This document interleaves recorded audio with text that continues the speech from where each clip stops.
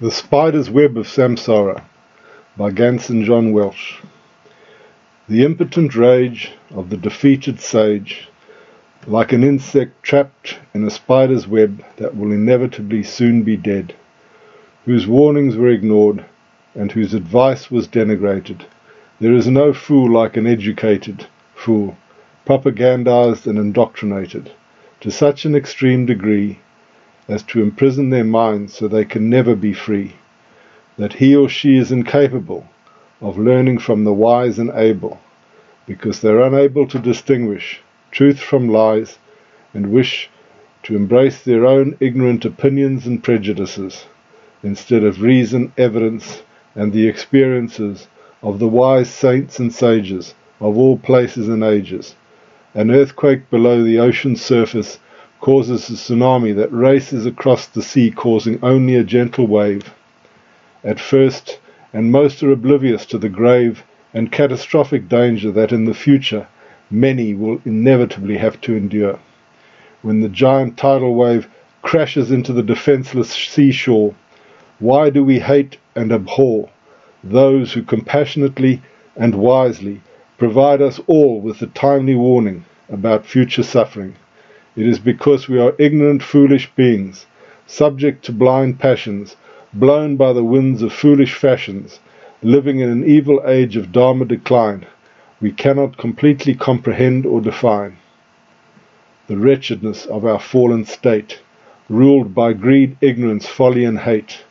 Reach out while you still have time to Amida and his sublime primal vow, and begin to think and say now Namo Amida Butsu, Namo Amida Butsu, Namo Amida Butsu.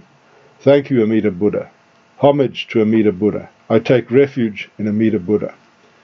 The above verses were inspired by the following passages from pages 415 to 418 of Reverend Josho Adrian Cirlea's excellent and very important book, Commentary on the Sutra on the Buddha of Infinite Life. Quote, the karmic situation of beings who have no aspiration towards enlightenment. Shakyamuni Buddha described various kinds of evil deeds and their karmic consequences, like, for example, the three evil acts and their retribution, and the five kinds of evils and their effects, the five sufferings, and the five burnings. I will present each one of them below in Shakyamuni's own words, and offer my comments only when necessary, as they are very easy to understand. My advice is to transform the reading into a contemplation of the sad situation of those without any aspiration towards enlightenment, and who, because they have no faith in Amida, have no chance of escaping samsara. A. The three evil acts and their retribution. The many evil deeds explained at section 31 can be divided into three categories. 1 delusion and ignorance of what is truly important, like the need for liberation, the law of karma, death and rebirth. 2. Greed and attachments. 3. Anger and hate. Quote, People of the world, being weak in virtue, engage in strife over matters that are not urgent. End quote. People of the world are those without any aspiration towards enlightenment, and whose sole preoccupations regard only this world and this life. They are worldly people because they, are, they busy themselves with useless things and do not feel the urgency of solving, quote, the matter of the greatest importance of the afterlife, end quote, as Master Rennyo called it.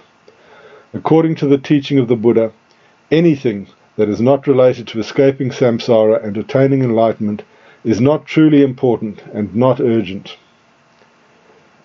The Buddha continued, quote, in the midst of abject wickedness and extreme afflictions, they painstakingly toil for their living, whether noble or corrupt, rich or poor, young or old, male or female.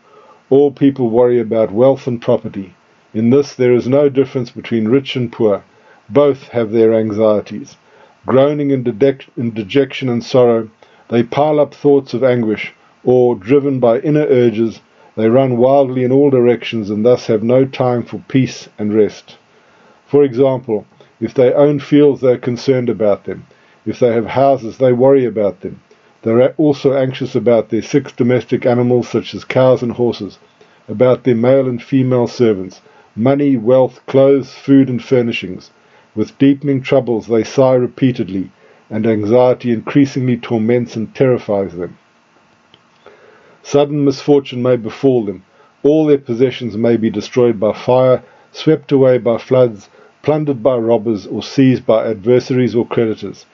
Then gnawing griefs afflict them, and incessantly troubles their hearts. Anger seizes their minds, keeps them in constant agitation, increasingly tightens its grips, hardens their hearts, and never leaves them. When their lives end in such agonizing conditions, they must leave everyone and everything behind. Even nobles and wealthy people have these worries. With much anxiety and fear, they endure such tribulations, breaking out in cold sweats or fevers. They suffer unremitting pain. The poor and the underprivileged are constantly destitute. If, for example, they have no fields, they are unhappy and want them. If they have no houses, they are unhappy and want them. If they have none of the six domestic animals, such as cows and horses, or if they have no male or female servants, or lack money, wealth, clothes, food, or furnishings, they are unhappy and want those as well. If they possess some of these things, others may be lacking. If they have this, they do not have that, and so they wish to possess all. But even if by some chance they come to possess everything, it will soon be destroyed or lost. Then, dejected and sorrowful, they may strive to obtain such things again, but it may be impossible.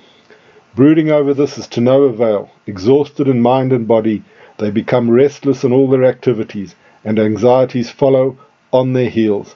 Such are the troubles they must endure. Breaking out in cold sweats or fevers, they suffer unremitting pain. Such conditions may result in the sudden end of their lives or an early death.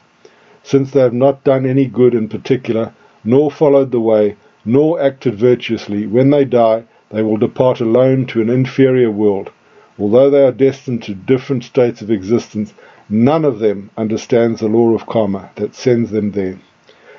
If one disagrees with others and grows angry, however small one's grudge and enmity may be in this life, these will increase in the life to come until they grow into a massive hostility. For if people are engaged in tormenting and harming each other in this life, such conflict may not immediately end in mutual destruction, but persistent bitterness and raging fury are impressed upon the mind, and thus naturally leave indelible marks on consciousness, so that those involved will be reborn at about the same time to take revenge on each other. End quote. Namo Amida Butsu.